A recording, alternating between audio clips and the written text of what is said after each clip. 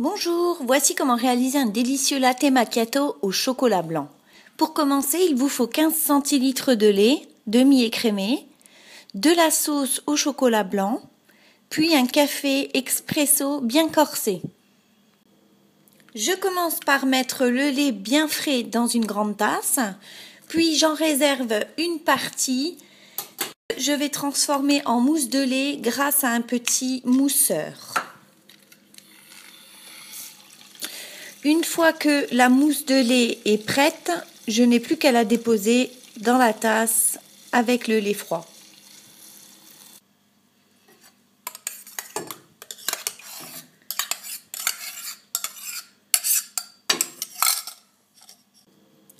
Puis je rajoute ma sauce au chocolat qui va venir se déposer au fond de la tasse.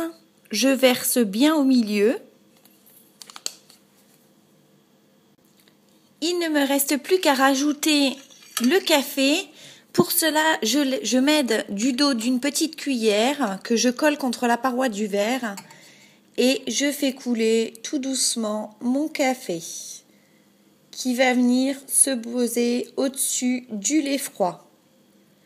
Ce qui va faire un joli petit dégradé de couleur. prenez votre temps pour déposer le café si vous le versez trop vite dans la tasse, il va se mélanger avec le lait et le dégradé de couleur sera moins intense.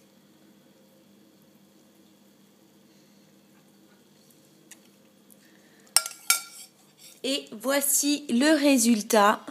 Comme vous pouvez le voir, le café s'est bien posé juste au-dessus du lait.